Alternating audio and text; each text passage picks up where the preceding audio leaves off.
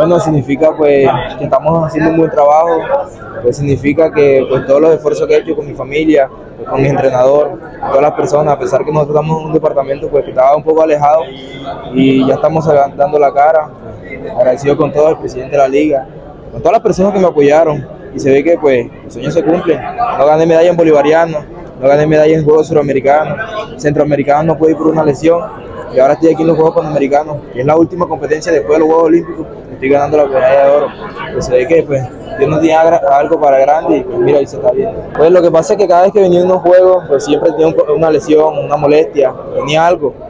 Y pues nada, en esta yo me sentía muy bien, clasificamos al campeonato desde el principio de año, trabajamos por la medalla, pues se logró el, objetivo, claro.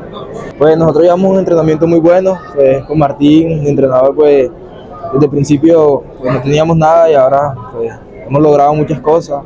Eh, es un entrenador que porque siempre nosotros nos motiva, siempre nos, dice que nada es imposible.